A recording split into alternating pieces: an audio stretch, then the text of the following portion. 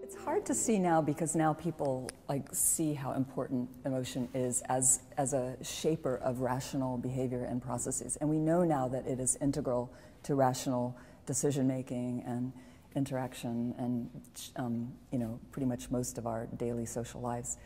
But at the time, it was seen as that which was fluffy and made us irrational, and it was the last thing you would want to put in a computer.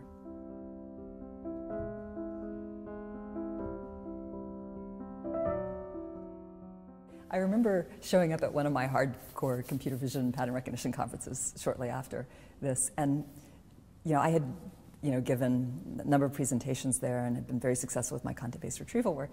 And I remember some people whispering behind my back, going, "Have you heard what she's working on now?" You know, like, like, like suddenly I had gone off the deep end, and maybe they didn't want to, you know, walk up and talk to me anymore. Uh, but I believed what I was doing was going to really help give some new insights that would be important. And I, um, I'm pretty stubborn when I, once I'm convinced by the facts, which took me a while. I did a ton of reading before I was convinced. Uh, once I'm convinced, I'm, I'm pretty stubborn. So I forged ahead with it. And I remember um, being really happy about five years later going back to this conference. And one of those people who had, you know, been like really aghast at my stuff, came up and said he wanted to start working on it and he wanted to know if he could have some of my data.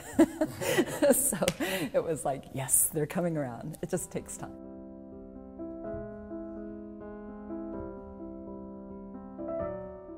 Well, some of them are still warming up to the idea.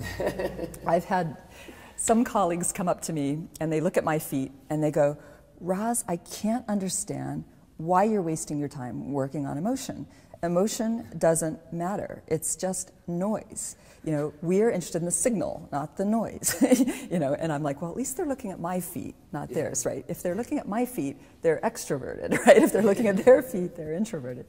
Um, so there are a lot of people in our community who really don't get emotion, and they don't see that it does anything other than get in the way.